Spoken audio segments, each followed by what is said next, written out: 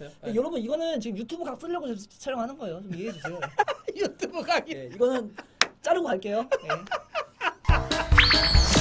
어이 달스네요 라이브입니다.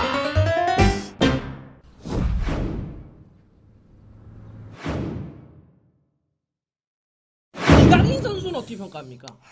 뭐, 같은 이제 뭐, 밑, 밑단 예. 밑단 포지션이잖아. 그 슈터 슈터리? 슈터리. 예, 제가 그거를 제가 그때 몇 살인지 중학생 고등학생이었을 텐데 그때 이제 그런 거 하고 있는데 이강인 선수 하는 거를 이제 나중에 봤어요. 뭐. 그때 촬영할 때 그 인기 많았잖아요. 오케이 그때 네. 많았지. 근데 진짜 너무 잘하는 거예요. 이강인. 아 어, 그때 어렸을 네, 때그 어릴- 할 때. 딱 봐도 이제 보시면 와 쟤는 뭐 다른 선 다른 어린이랑 다르구나. 막 그냥 뭐 말했어요. 덤나하고 알까기도 아. 아예 다르다. 예, 어. 그때 와, 진짜 저- 잘한다 이 생각하고 있었는데 이제 그 선수가 고등학교 때 중학교 때 본 게.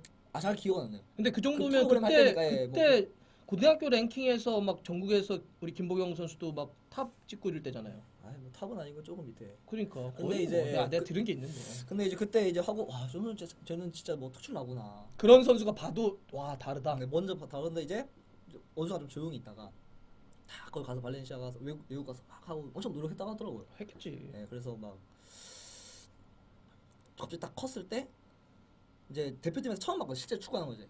그렇겠지. 지난번 네. 소집됐을 때. 근데 제게 뭐냐면은 저는 항상 의문이 있었어요. 왜 뭐 사비, 이니에스타, 응. 뭐 다비드 실바 응. 이런 선수는 크게 나랑 체형이 다르지 않은데 아 체구가 그치 예, 그치 예. 맞아. 근데 왜 저렇게 유럽에서 저렇게 특출나게 잘할까? 아, 항상 그치. 의문이 있었거든요.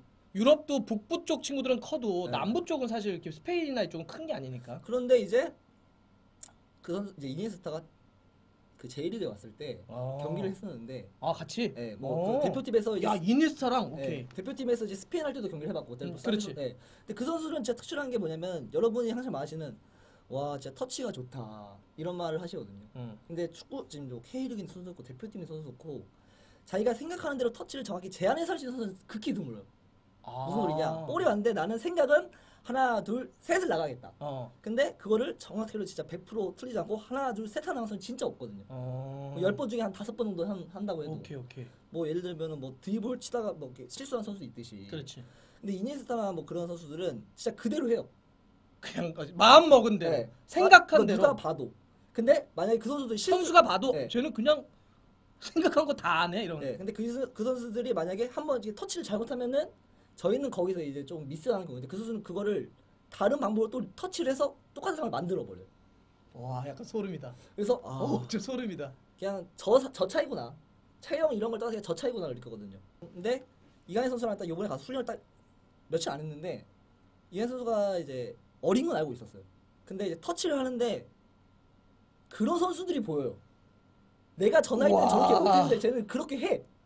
근데 나중에 지금 이니에스타하고 사비하고 네, 그런 실바. 냄새가 나, 향기가 나. 터치하는 걸 보면.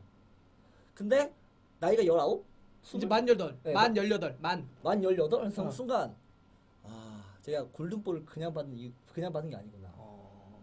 진짜 보고 아 얘는 다르구나. 내가 가지고 있지 않은 것 얘는 가지고 있구나. 내가 그 나이 때 나도 분명히 한국에서 잘하는 선수였는데 최고의 극찬이네. 잘하는 선수에서 얘를 보고 아 얘는 분명히 다르구나라는 걸 딱 보고, 보고 있고. 백승호 선수 잘하는데 이강인 선수 같은 느낌은 아니었거든요. 근데 이강인 선수 딱 그런 느낌이 났어요. 그러니까 나- 나머지 뭐 예를 들면 잘하 다 잘하는데 네. 어 잘한다 정도 느끼면도 얘는 네. 아 내가 아예 갖고 있지 않은 걸 갖고 있구나.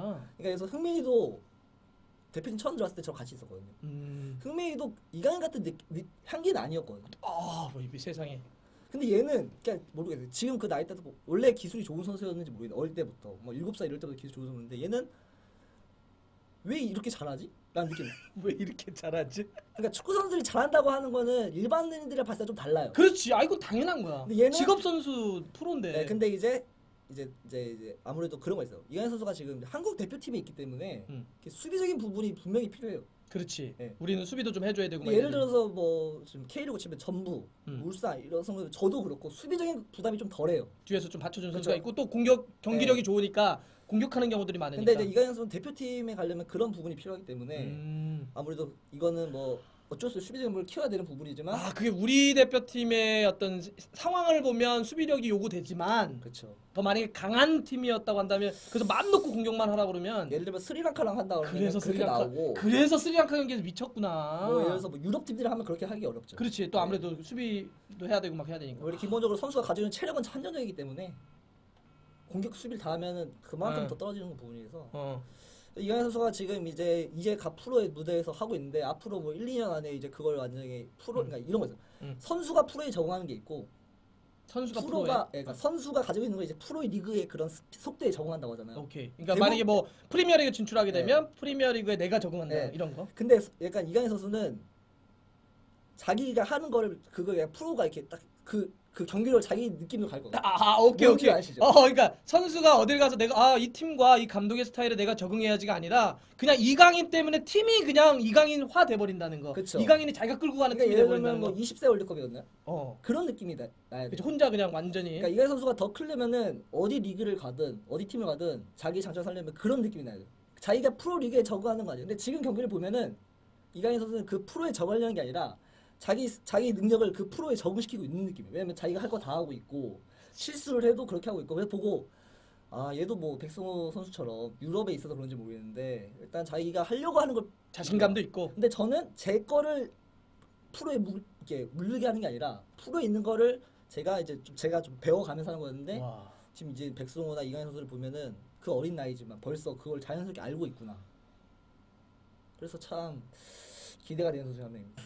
이게 K리그 팬들은 다 알지만 K리그 이선 쪽에 최고의 테크니션이라고 다 인정하시는 거고 이거는 그리고 월드컵이나 뭐 그다음에 프리미어리거로서 유럽도 막 경험하고 그랬는데 난 그 표현이 진짜 막 두 가지가 기억에 남는 것 같아. 하나는 아예 내가 갖고 있지 않은 걸 갖고 있는 차원이 다른 선수라는 거하고 하나는 팀과 리그에 내가 적응하는 게 아니라 선수가 적응하는 게 아니라 그냥 그 리그와 팀을 자기화시켜서 끌고 가버린다는 네, 표현이 그렇게 프로에 적응해야 할것 이런 같아요. 자, 좋아요, 구독 걸립니다. 때려야죠. 오, 알람 들어갔어요.